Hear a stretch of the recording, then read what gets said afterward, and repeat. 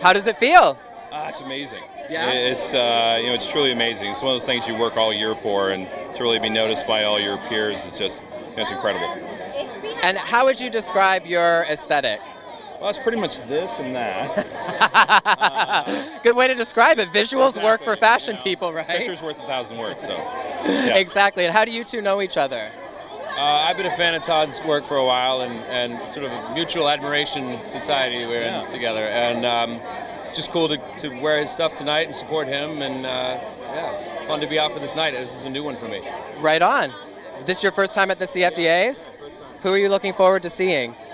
Um, Are you like a are you a, a secret fashion guy? I've s- I I one right I next to right I clock I clock you on the carpet. uh, Rihanna, how about that? That's a good one. That's a very good one. I think everybody's kind of waiting to see her. yeah, that's gonna be exciting. Well, good luck. Well, thank you. Congratulations. Yeah, thank you. And have the night of your life. We will. All right, sounds good. All right. Take care.